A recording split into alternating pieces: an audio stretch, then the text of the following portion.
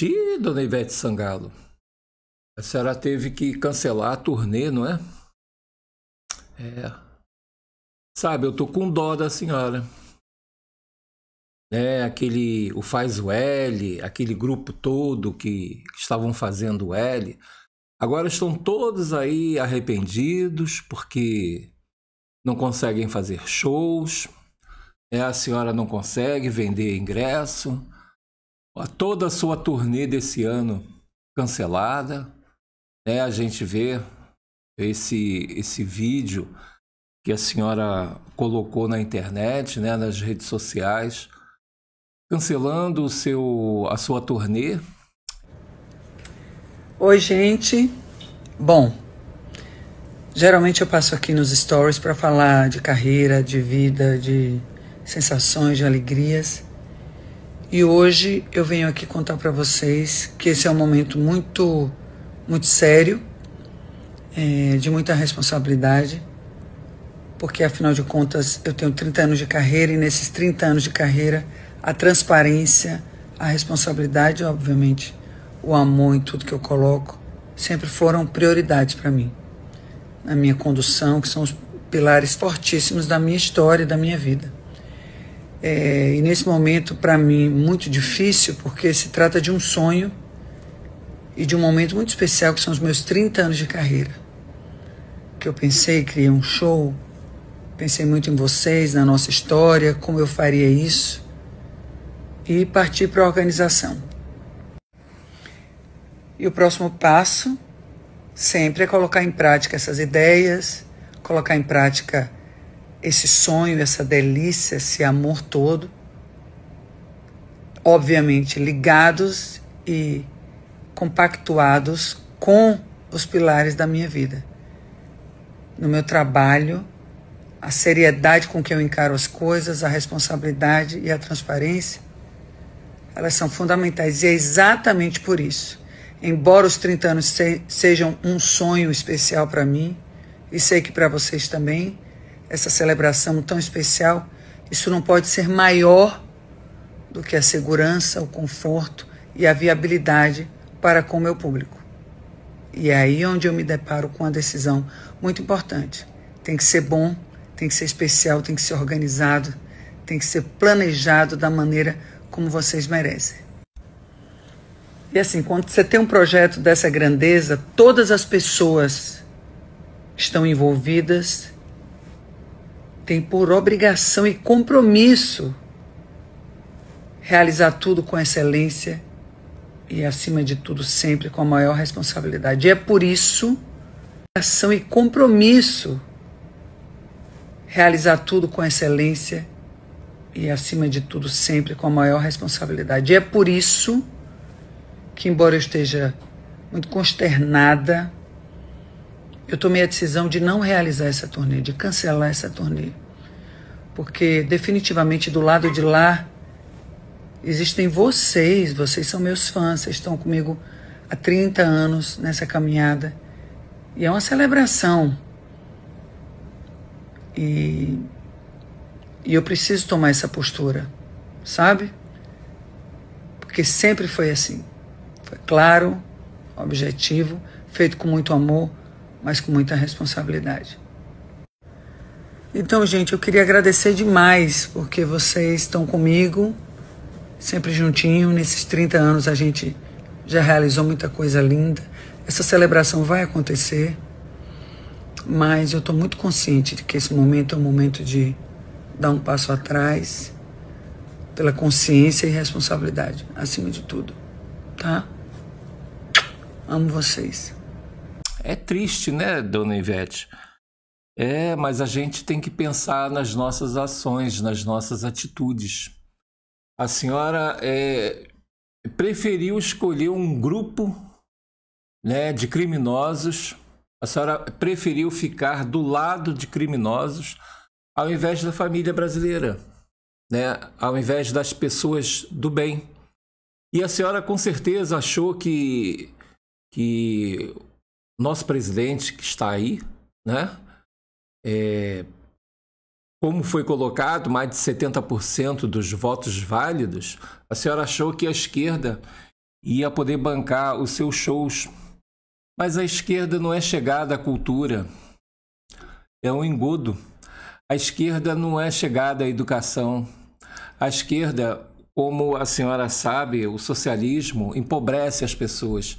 Então, quem está ligado praticamente à esquerda, o, o pão com mortadela, ele não tem dinheiro para ficar bancando show, ele não tem dinheiro para assistir peça de teatro.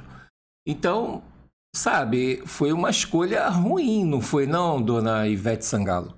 Foi uma escolha ruim. E agora, infelizmente, a senhora vai ter que amargar aí esse prejuízo por conta disso. Porque se a senhora estivesse é, surfando ainda numa boa, com dinheiro, a senhora jamais iria se arrepender do faz o L, não é? A senhora iria continuar no faz o L. Porém, não tem dinheiro, não tem lei Rouanet, né? O dinheiro acabou. O dinheiro acabou, dona Ivete Sangalo.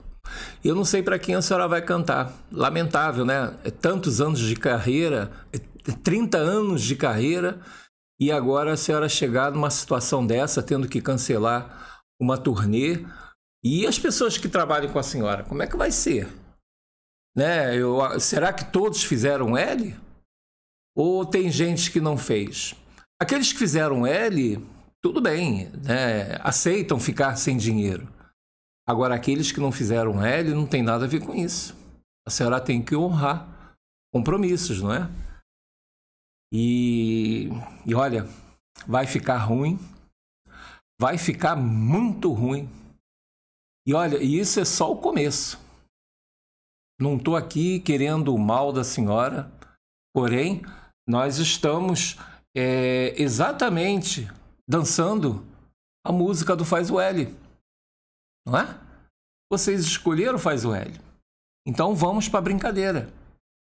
Vamos ver até onde isso vai. Até aonde o choro é livre. É de grátis. Porque depois isso vai ficar caro, o choro vai ficar caro. E aí muita gente vai ter que pagar pelo choro por cada lágrima derramada.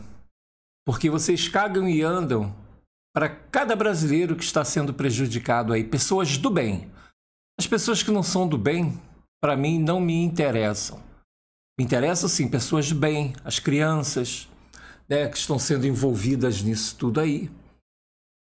Nessa, nesse, la, nesse mar de lamas que a gente vive, nesse socialismo porco imundo que o próprio venezuelano não quer mais para ele. E aqui vocês estão aplaudindo. Aliás, estavam aplaudindo. Porque agora vocês não têm nem espaço para aplaudir. Vocês já não têm espaço para cantar. Vocês não têm teatro para se apresentar. Vocês vão aplaudir em que lugar? Também não tem. Então é melhor ficar em casa chorando, na cama quentinha, que é a melhor coisa que há de se fazer nesse momento, né?